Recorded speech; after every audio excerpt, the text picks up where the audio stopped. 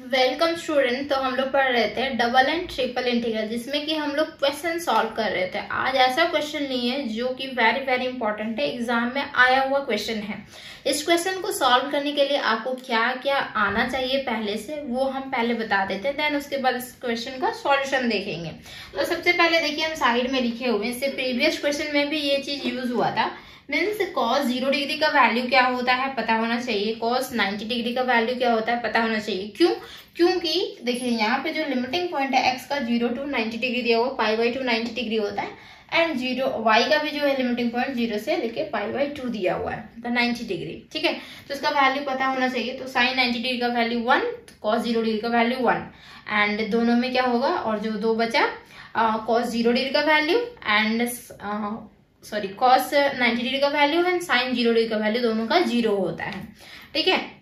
And एक बात और पता होना चाहिए, u और v का इंटीग्रेशन क्या पता है u और v का इंटीग्रेशन क्या होता है? इस तरीके से इंटीग्रेशन u, v और x के रिस्पेक्ट में मान लेते हैं, कर रहे ठीक है? U, v का इंटीग्रेशन तो u, v का जो इंटीग्रेशन होता है, वो होता है, यहाँ पे लिख दे रहे हैं, ठीक है? मे भी इधर ना लिखे इस वजह से थोड़ा लंबा होगा। U को एज इट इज़ लिखेंगे, जो भी टर्म दिया हुआ रहेगा u एज इट इज़ लिखा जाएगा एंड v का करना होगा फिर से आपको इंटीग्रेशन ठीक है? तो इंटीग्रेशन v एक्स के रिस्पेक्ट में है यहाँ पे तो एक्स के रिस्पेक्ट में, जिसके रिस्पेक्ट में रहेगा, उसके रिस्पेक्ट में करना होगा आपको। फिर होता है माइनस फिर इंटीग्रेशन अब यू जो टर्म था, उसका क्या करना है पता है? डिफ्रेंसिएशन करना है एक्स के रिस्पेक्ट में। एंड फिर मल्टीप्लीकेशन ही है। अब जो है वी जो बचा, उसका फिर से करना होगा यहाँ पे आपको इंटीग्रेशन और ओवरऑल जो भी रिज़ल्ट यहाँ पे निकल के आएगा, उसका फिर से करना होगा इंटीग्रेशन तो ये होता है हमारा यू और वी का इंटीग्रेशन ठीक है? डिफ्रेंसिएशन यू और वी का तो बहुत इजी है बट इंटीग्रेशन इजी नहीं है। तो ये होता है फॉर्मूला आप लोग को पता होना चाहिए। नहीं तो दो तीन बार क्वेश्चन में बनाएँगे ना तो समझ में आएगा। वैसे है सेमेस्टर वन से लेके फाइव तक तो ये बहुत बार आ चुका है यू और वी का इंटीग्रेशन ठीक है सेमेस्टर वन में ही था फॉर्मूला था। ठीक भूल गए होंगे तो आप लोग को अभी रिमाइंड हो गया होगा। ओके तो चलिए सॉल्यूशन की ओर चलते हैं। उससे पहले मेरे चैनल पे जो भी नए प्लीज़ चैनल को सब्सक्राइब कर लीजिएगा। वीडियो थोड़ी सी भी हेल्पफुल होती है तो ज़रूर शेयर कर दीजिएगा। एंड कमेंट करके ज़रूर बताइएगा वीडियो कैसे लगती है आप लोग को। चलिए सॉल्यूशन की ओर चलते हैं। सॉल्यूशन है हमारा क्या? द गिवन इंटीग्रल सिंपल लिखते हैं। गिवन इंटीग्रल क्या है इंटीग्रल तो इंटीग्रल है दिस वन आई से डिनोशन इसको कर सकते हैं। X sine x plus y and d y upon में डी एक्स और रीजन भी दिया हुआ है, वो रीजन भी लिख दीजिएगा। ठीक है? This one and pi by two and यहाँ वाई का दिया हुआ है this one pi by two now अब देखिए, यहाँ जो टर्म है डी वाई दिया हुआ मतलब वाई का अंदर में लेकर रखेंगे, ठीक है? आई इक्वल टू ज़ीरो से लेके पाई बाई टू ज़ीरो से लेके पाई बाई टू को फ़र्क नहीं पड़ेगा, ठीक है? बट अगर कुछ चेंजेस रहता है यहाँ पे तो फ़र्क पड़ जाता। ठीक, यहाँ पे x sine x plus y और यहाँ पे होगा d y by d x ठीक है? देन तो देखिए y के रिस्पेक्ट में करेंगे तो x जो होता है, यहाँ पे बोल रहे थे कि इंटीग्रेशन जो होगा, ये वाला डबल इंटीग्रेशन तो दूसरा जो भी वेरिएबल रहेगा, उसको हम लोग कॉन्स्टेंट जैसा ट्रीट करेंगे। तो y के रिस्पेक्ट में कर रहे हैं तो x तो कॉन्स्टेंट होगा तो u और v का इंटीग्रेशन तो इसमें नहीं लगेगा, क्योंकि ये कॉन्स्टेंट टर्म है। तो कॉन्स्टेंट टर्म को तो हम लोग एज इट इज़ लिख देते हैं ना? तो कॉन्स्टेंट टर्म हमारा एज इट इज़ हो गया बट यहाँ पे साइन एक्स प्लस वाई का इंटीग्रेशन होगा। तो साइन एक्स प्लस वाई का इंटीग्रेशन क्या होगा? साइन एक्स का इंटीग्रेशन क्या होता है? माइनस कॉस एक्स ठीक है? तो minus cos x plus y and यहाँ पे लिमिटिंग पॉइंट लग जाएगी। लिमिटिंग पॉइंट क्या लगेगी? ज़ीरो से लेके pi by two and d x एक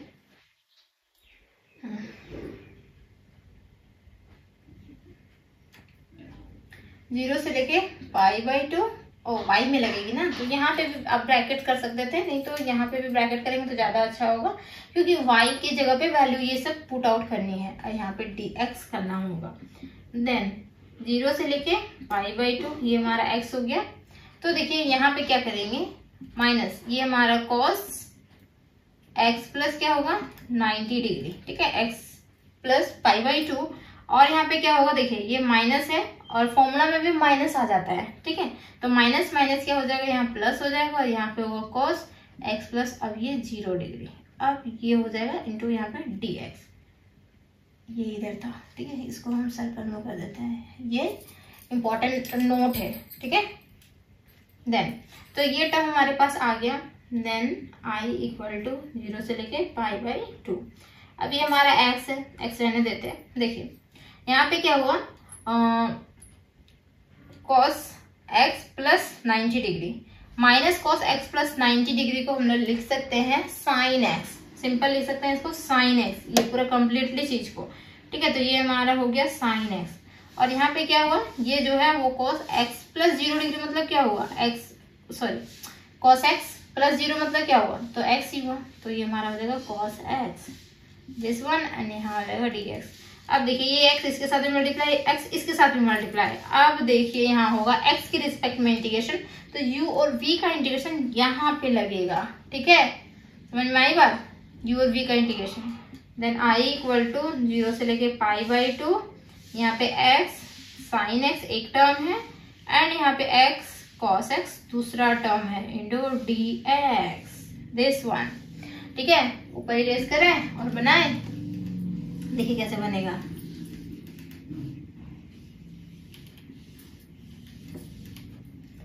आई इक्वल टू क्या करना है? एक्स साइन एक्स एक्स को ऐसे ही रखेंगे एक्स को एज इट इज़ और फिर क्या करना है? साइन एक्स का इंटीग्रेशन साइन एक्स का इंटीग्रेशन क्या होता है? Minus cos x minus cos x मतलब क्या हुआ ना कि यहाँ पे मल्टीप्लीकेशन ही है, ठीक है? ये जो है ना, ये मल्टीप्लीकेशन ही है।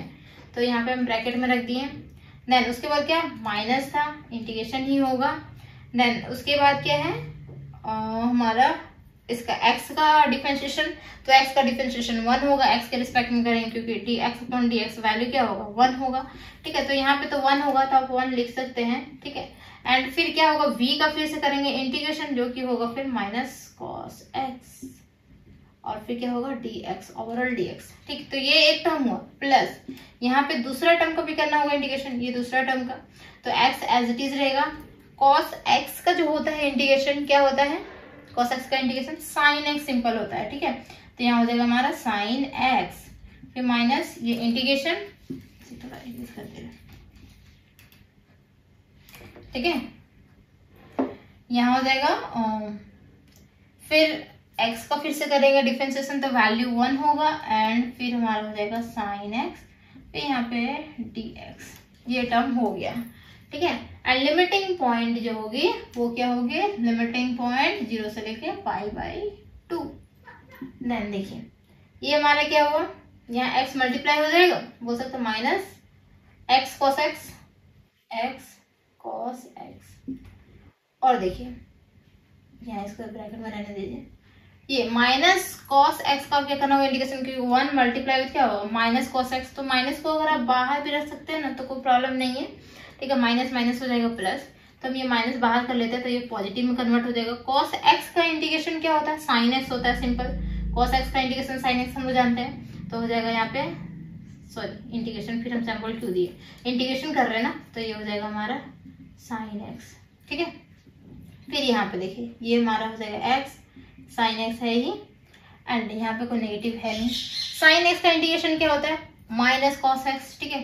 तो यहाँ पे माइनस कॉस एक्स हो गया। और लिमिटिंग पॉइंट ज़ीरो से लेके pi by two single out place comment okay then minus x cos x plus यहाँ पे हमारा हो गया sine x plus x sine x and यहाँ माइनस माइनस क्या हो गया? प्लस कॉस एक्स ज़ीरो से लेके pi by two simple put out कीजिए वैल्यू रिज़ल्ट आपके सामने।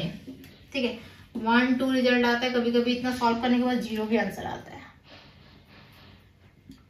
तो देखिए, यहाँ पे क्या करेंगे? Pi by two minus pi by two और कॉस पाई बाई टू फिर क्या होगा? ये माइनस है तो फॉर्मूला में क्या होता है? पॉजिटिव आता है पॉजिटिव आ जाएगा।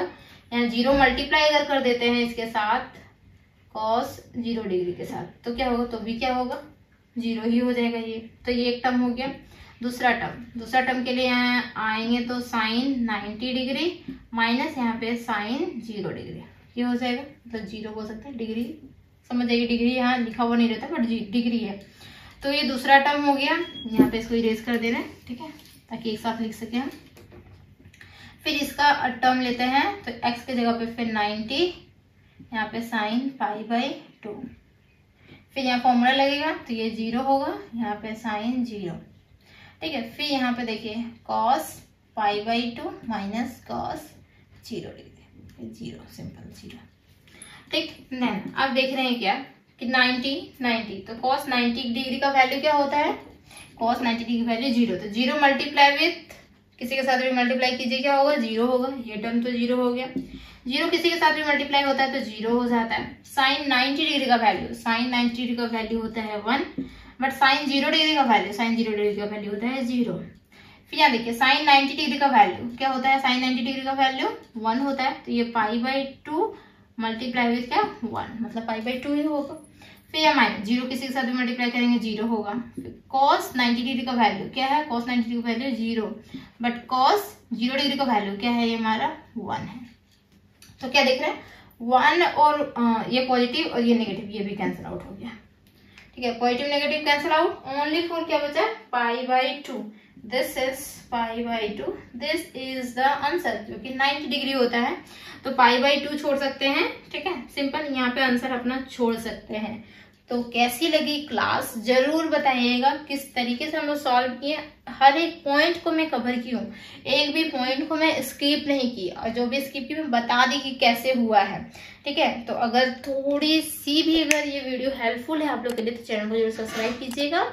वीडियो को लाइक कीजिए शेयर कर दीजिए। Thank you tata bye bye